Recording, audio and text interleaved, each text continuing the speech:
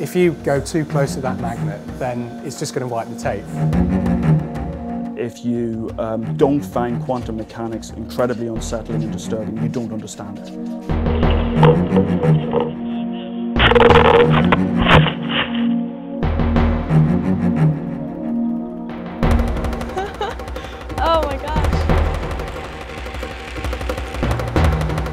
We're actually positioned like this. And as a result, there are more collisions on the, this side.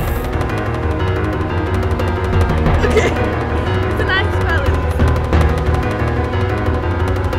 Yeah, there's this very strange thing about Mercury.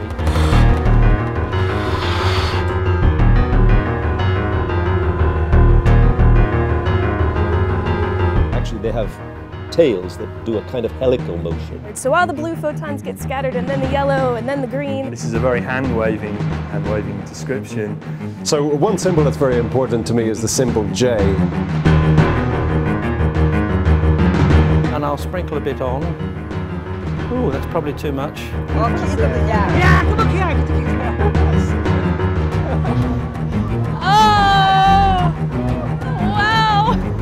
This has to be one of the coolest things I've ever seen. I, I completely didn't think we were going to be able to see it like that.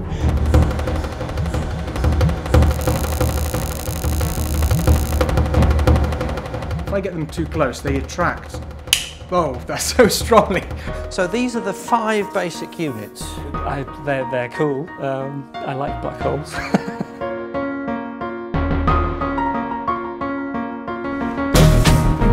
wow, did you see that? Good grief. That's about the highest it's ever gone. Wow. And again, it's a pretty stable system. And you shake this about and you try and mix it up.